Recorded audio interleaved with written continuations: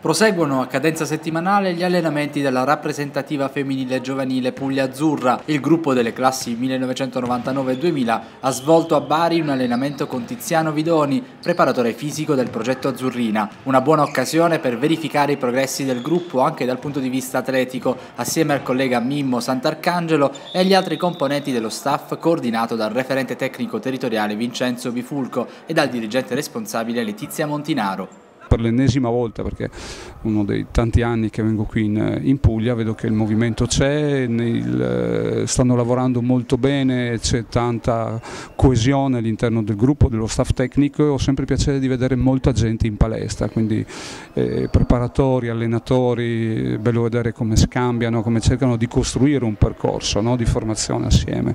È un gruppo, quello delle giovani cestiste 99-2000, che vanta margini di miglioramento anche fisico.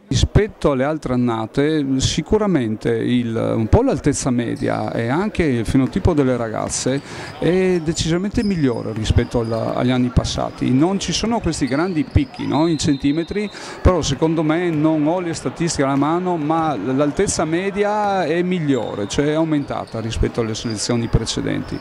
Ci sono dei buoni punti da lavorare, ho visto alcune ragazzine anche interessanti, molto in fieri, c'è molto in fase di, di crescita, anche all'interno del gruppo delle 2000 si vede che sono ragazze che stanno ancora crescendo, no? non hanno ultimato il loro la loro crescita dal punto di vista morfologico e questo è una buona cosa.